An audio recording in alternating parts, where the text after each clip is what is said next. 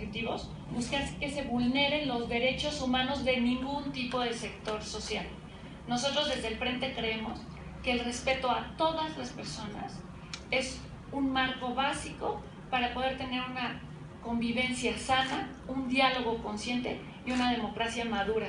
Por lo tanto, nosotros no estamos marchando en contra de nadie ni de ningún sector social.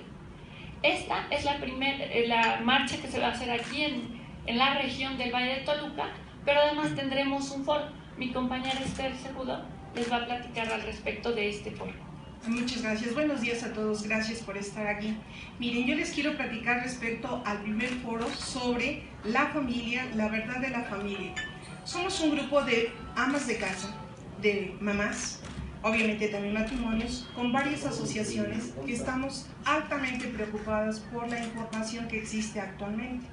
Cuando nosotros queremos formarnos un criterio y discernir lo que es la verdad y lo que más conviene a nuestras familias, a nuestros hijos, resulta que nos encontramos con mucha información, desinformación, verdades a medias, y es por lo tanto que se convoca a un foro este que intenta llevar todo lo que es la razón y la ciencia